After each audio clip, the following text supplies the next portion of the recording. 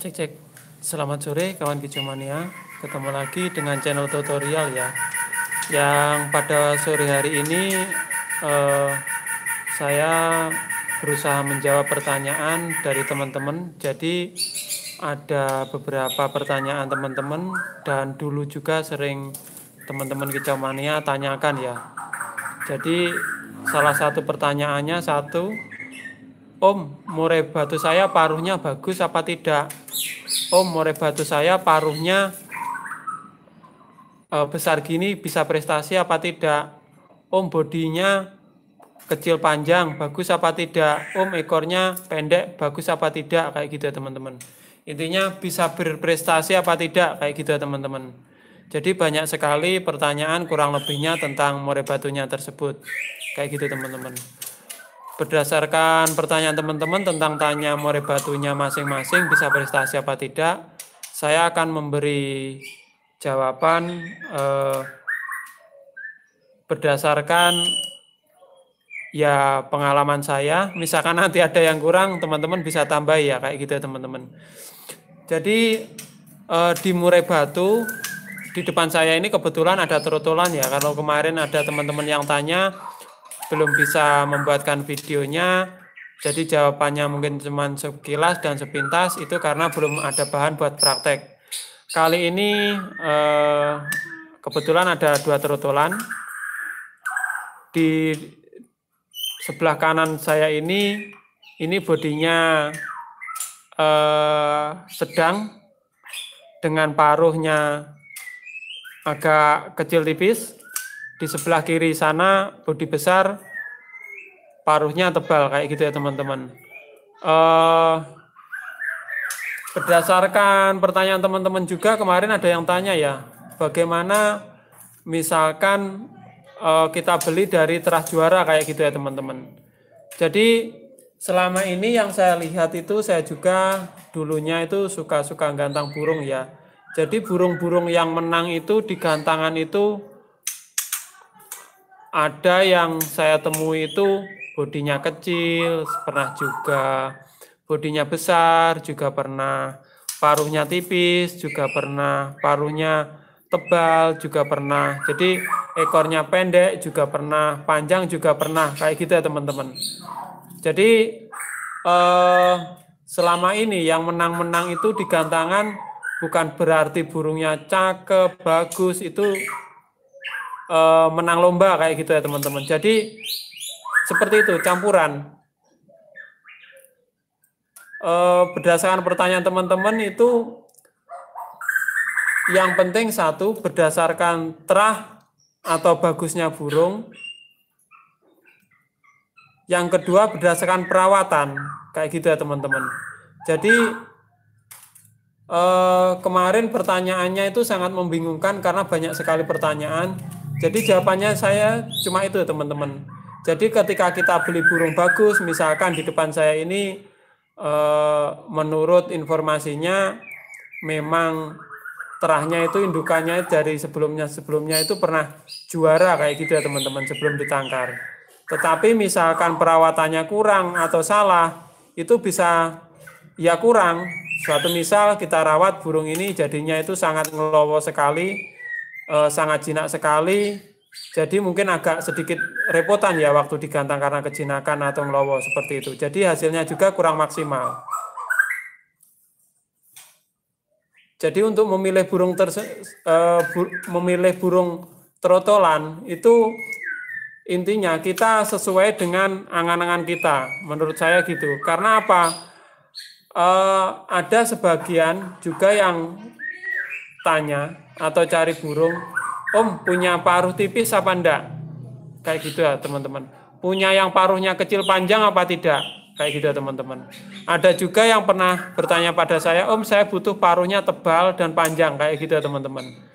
Jadi mereka masing-masing punya alasan. Jadi ketika eh, teman kecamania yang pesan paruhnya tipis, mungkin dia punya terinspirasi, tahu atau pernah tahu atau punya teman yang paruh tipis itu menang juara kayak gitu ya teman-teman.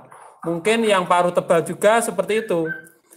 Dia pernah punya tahu eh, ada punya burung mungkin temennya atau mungkin di YouTube atau di mana itu paruh tebal itu pernah juara kayak gitu teman-teman. Jadi untuk paruh tipis atau kepala ceper atau bodi besar, bodi kecil itu eh, saya rasa tidak bisa buat patokan kalau burung tersebut juara kayak gitu ya teman-teman. Karena burung kecil juga banyak suka banyak juga yang mentalnya bagus, ada juga yang kurang kayak gitu ya. Begitu juga yang bodi besar kayak gitu teman-teman. Jadi untuk uh, juara sendiri yaitu pertama kita cari sesuai keinginan kita misalkan burung yang bagus itu biasanya misalkan dari trotolan itu ditandai dia itu dengan ngeplay-ngeplay. Satu itu. Jadi burungnya biasanya karena ciri khas murai batu yang uh, itu biasanya ditandai dengan ngeplay-ngeplay teman-teman. Kalau saya seperti itu. Saya lihat itu main ekornya. Kalau ekornya kelihatan ngeplay-ngeplay main, seperti itu teman-teman. Nah ini karena masih muda-muda seperti itu. Jadi yang pertama itu ekornya bisa main ngeplay-ngeplay. Yang kedua itu yaitu tadi membusungkan dada atau dekek-dekek teman-teman. Kalau ketemu misalkan kita ledek ya, misalkan kayak gitu.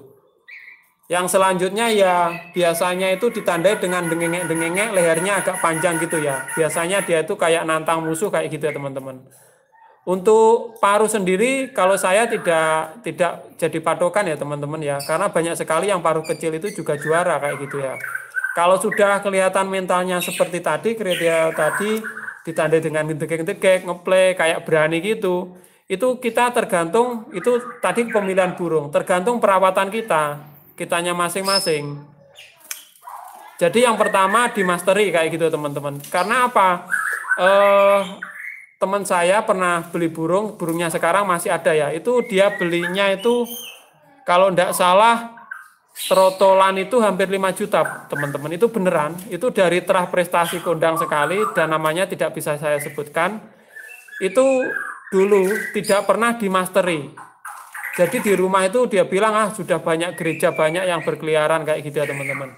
Tetapi setelah dirawat sekitar hampir satu tahun itu diadu itu suaranya monoton kayak gitu ya teman-teman. Padahal burungnya vector. Nah, jadi maka dari itu eh, pemilihan burung yang pertama harus diimbangi dengan perawatan. Kayak gitu ya teman-teman. Perawatannya bagaimana? Ya minimal uh, kita mastery kayak gitu ya teman-teman. Biar dia punya materi bagus kayak gitu. Biasanya seperti itu. Jadi untuk patokan burung besar atau kecil itu tidak jadi patokan kalau burung tersebut jelek atau bagusnya jadi ada saling apa ya teman-teman ya menurut saya saling berhubungan ya jadi yaitu tadi yang pertama kita pilih sesuai keinginan kita, maksudnya kita itu sukanya yang besar apa yang kecil karena apa? Walaupun misalkan kita punya besar, kalau kita tidak suka itu ngerawatnya juga akan malas kayak gitu biasanya. Jadi saling berkaitan lah. Intinya seperti itu teman-teman. Untuk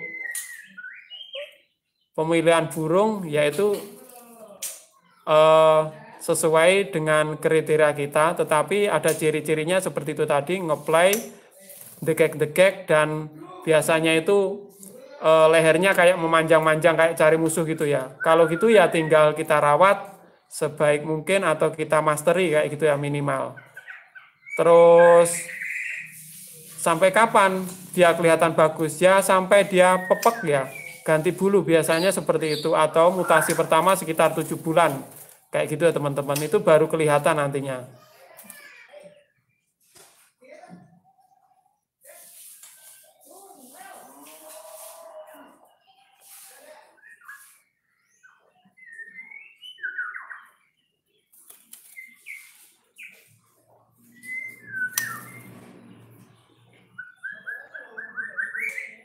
Oke teman-teman, jadi itu tadi trotolan yang teman-teman tanyakan jawabannya seperti itu. Kalau saya jadi ndak pehne body kecil besar itu ndak apa-apa.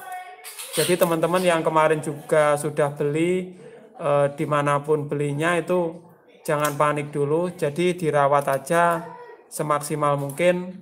Ya semuanya itu masih ada harapan ya teman-teman. Asalkan kita ngerawatnya maksimal jadi biar jadinya juga lebih maksimal kayak gitu ya teman-teman.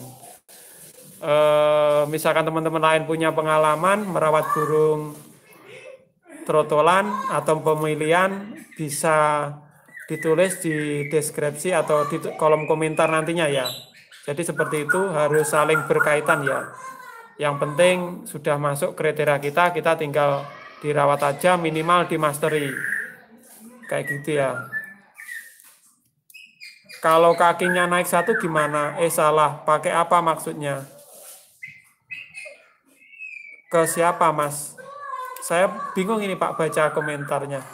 EF dibatasi enggak mas? Ya kalau saya dijatah Pak, kayak gitu. EF-nya dijatah karena dia juga udah makan pur kayak gitu ya teman-teman. Cara nyetingnya sudah saya uh, share atau saya buatkan video di video-video sebelumnya ya untuk makanannya bagaimana seperti itu ya teman-teman. Oke sekian dulu uh, untuk review atau pemilihan burung murai batu trotolan seperti itu teman-teman ya. Jadi kemarin banyak yang tanya om burung murai batu saya kecil sekali apa bisa juara kayak gitu ya. Jadi jawabannya itu tadi teman-teman. Enggak di gantangan itu yang body kecil itu juga banyak, body besar juga banyak kayak gitu ya. Oke, sekian dulu. Terima kasih. Semoga